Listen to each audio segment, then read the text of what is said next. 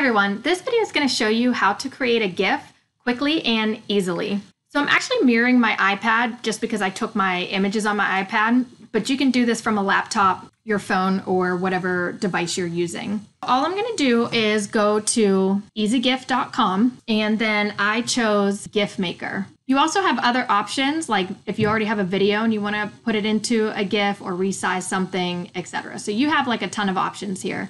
But I'm just starting with the GIF Maker.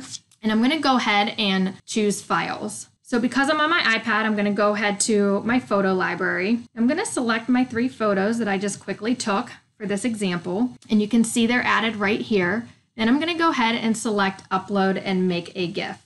Now, I know my videos show up sideways, even though they are not that way in my photo library, but I'm not worried about it right now, and I'll show you why. Now, you do have the option to drag and drop frames to change order, so if I want to, I can change the order very quickly. And then as I scroll down, I have other options like how many seconds I want them delayed, if it's going to be a loop count, or I like to keep it empty so it just keeps on looping depending on what I'm adding this gift to. And then I definitely like to pick the don't stack frames option. You end up seeing what's behind it. Each one just ends up stacking on top of the other and it doesn't look nice. If you're forward thinking and you have a particular background that you want to use, you can actually say just use the first frame as background and that first frame would be maybe a background image or something that you want all of your other images to be on top of. So once I'm done, go ahead and make that GIF.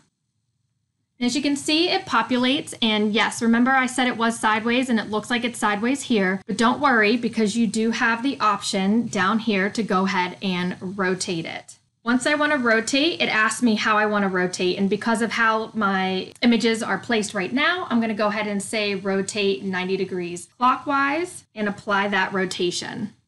And so as I scroll down, it's now the correct way. And so from here, I can then go ahead and save. I do have some other options like cropping, resizing, optimizing, and so on. But just for today's sake, I'm just gonna go ahead and select save. And I'm gonna say, yes, I wanna go ahead and download. And I wanna download the rotated one. And the one thing I want you to pay attention to, it says, please do not directly link to this file, but save it when finished because they will delete these from their servers. They don't keep this. So this isn't something that you can keep forever. As you can see in the beginning, I didn't even sign up for an account. So I selected download, and as you can see, since I'm on my iPad, it gives me the download arrow that it's right there. So I'm gonna select my download arrow, and I'm gonna go ahead and choose and now I have my gift. So because I'm on my iPad, I wanna save this. I'm gonna hit that share button and I'm gonna go ahead and just save this into my camera roll. And so now I have my gift to add to my Google Slides or something later. All right, so just to show you how I would possibly add this into my slides later, I'm gonna go ahead and I've opened a Google Slide in my Slides app on my iPad. And remember, you can do this on other devices as well. I'm gonna go ahead and put hit that plus sign and say image. And then I'm gonna do yes from photos. And even though you can't tell that this is my GIF, I know that it's there because I didn't do two of these pictures. So I'm gonna select it, select add,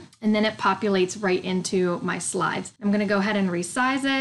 So it's just like a little fun gift that I now have in my Google Slides. I hope this is just a fun little way to spice up or do some engaging activities with your students.